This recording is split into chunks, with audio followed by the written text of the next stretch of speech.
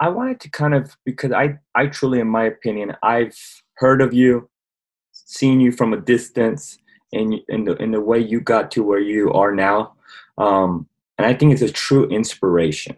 It is a true inspiration, meaning you're a, a strong female in a sport that sometimes is male dominant in the coaching world, and things are not given to you in certain ways. You truly have to earn it.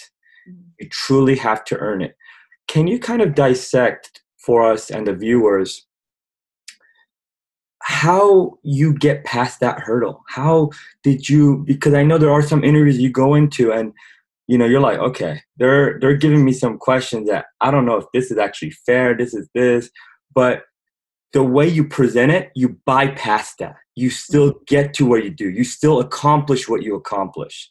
Um, if you can get into that and the hurdles you had to deal with to kind of um, overcome it. Yeah, I think that just women in particular, and you know, it's not necessarily unique just to soccer. Um, I think the sports industry in general is obviously um, more geared towards like a male audience and it's more favorable for men kind of working their way through the ranks to get into coaching positions. Um, and there, there's adversity in a lot of different ways and it, you know from a systemic standpoint um, you know i went and did my my licensing in wales and did the uefa route um, and that was kind of a product because us soccer had written some stipulations that required you to play three years professionally in order to get waived into the C license. And for me, I'd only played two years, but there wasn't a pro league for me to play in. And so, kind of right off the bat, the rule had been written for men and it wasn't malicious. There wasn't something where they were trying to alienate an entire group. It was just that they hadn't even considered that women wanted to pursue coaching licenses. And so, um, you know, that that in and of itself was kind of the precursor to me really pushing forward and, and highlighting some of the small nuances that women face. So then within some of those licensing, you know, courses is um, this kind of idea, and it's not even in licensing courses, it's really just in coaching in general, is that women tend to feel like we're under a microscope. Um, where you know if we don't check every box in terms of you know if there's 10 different requirements if women don't have all 10 you know then we either don't apply or we don't feel like we're ready or experienced enough to be in that position. Whereas you know if men have five out of the 10 like they're like i got this you know and I, I don't know why you know where that confidence stems from but it's something that i certainly feel like women need to give themselves more of an opportunity um, you know to prove themselves and to earn it like you said. Um, and for me just being in different environments where um, I've been uncomfortable or I felt like, you know, I'm under a microscope or, you know, all eyes are on me. Instead of looking at it, you know, from like a standpoint of fear, I've really looked at it from a standpoint of, you know, if I do this, then this is going to open doors for other women.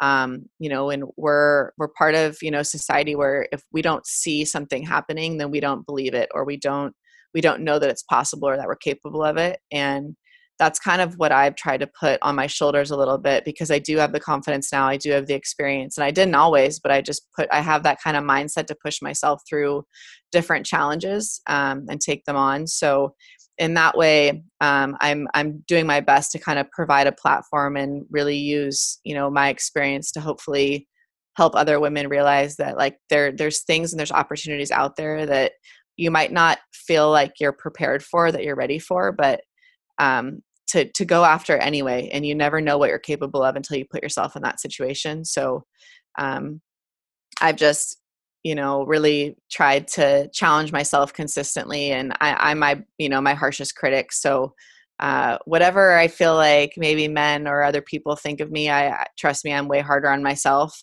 um, and i always try to hold myself to a higher standard than anyone else expects of me.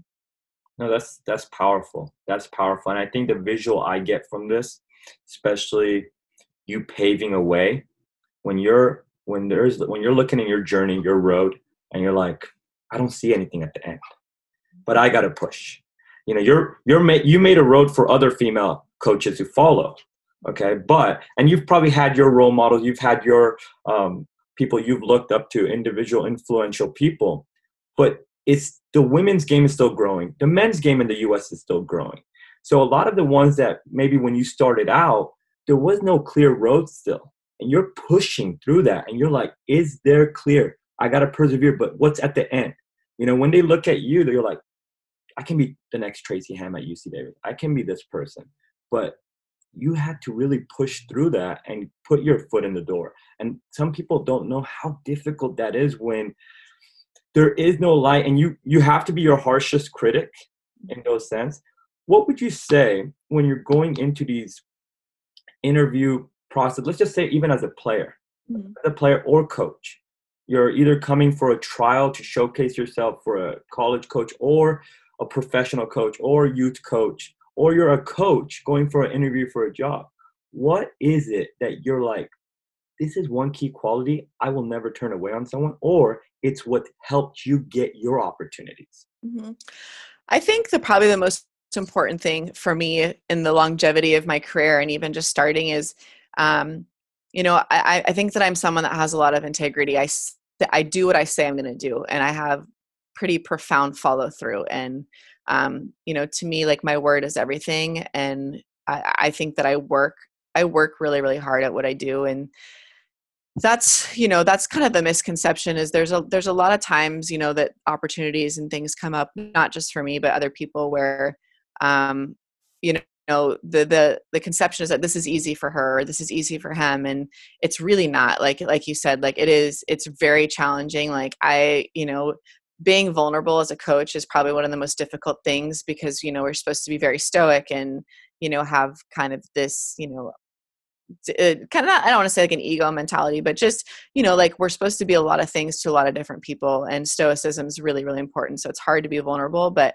I mean, I'll be really honest, like there's been a lot of tears. There's been a lot of, you know, there's been doubt. I've had those feelings where, you know, am I in over my head? Am I capable of doing this? And you know i think when some women or men even look at me it's like oh well this has been easy for her because she's super confident and i am confident in a lot of ways but i'm confident because i'm prepared and because i went through challenging things and i came out the other side on top um, you know and i really didn't give up and i know going through some of the licensing process where there was a lot of people that did give up you know and and not that i'm comparing myself to other people like i said like i'm in a competition with myself all the time um, but in some ways it was it was encouraging to see that other people had similar doubts and similar feelings and it made me feel more confident like okay i'm not the only one that feels like this um, and then acknowledging that you know really helped me kind of persevere through some of the most challenging times um, but i think you know part of what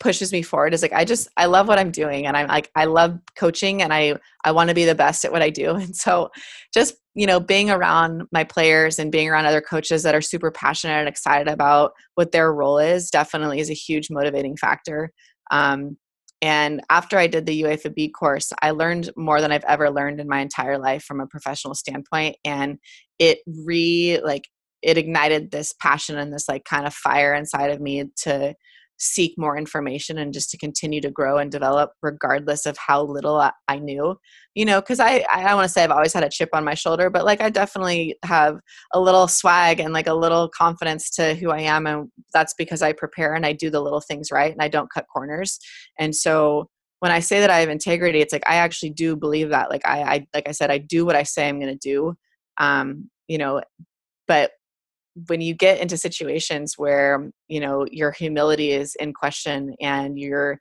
in environments where you're exposed um, it's so valuable right? Because if we knew everything all the time like I, you know nobody would be in any situation like there's no fun in that like to have already arrived how boring right? You want to really focus on like the growth part of everything that you do instead of the outcome and you know like you said there hasn't been like a light at the end of the tunnel. There still isn't for me. I don't know what's next. I don't know where i'm going. I don't really know why i'm doing any of this other than i want to make sure women you know feel like they can take the same path to nowhere with me potentially but also um you know just again like highlight some of maybe the inequities that exist and also just challenge myself to continue to be the best um, version of myself every day.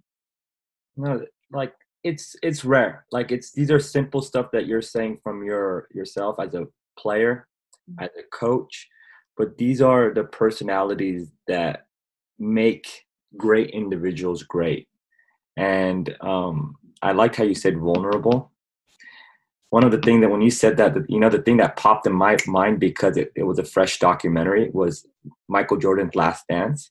And there was this, I don't know which episode it was. At the end of it, he broke down where he started talking about this is the way I was built.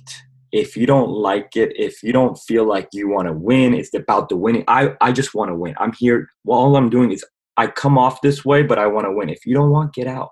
Yeah you know and he got emotional because you can see that he wants he's a nice guy he he's a but as a competitor we all know if you're a coach if you're a player when you're a competitor there are times that there's wounds and if you want to win there's tough times that you just go inside you lock yourself up and you're you get vulnerable but you have to walk with a facade so i like how you said that and even dissecting one of the greatest athletes in Michael Jordan, he breaks down too. Everybody is that vulnerable. No one's built like a rock where you're like nothing nothing goes through. So right.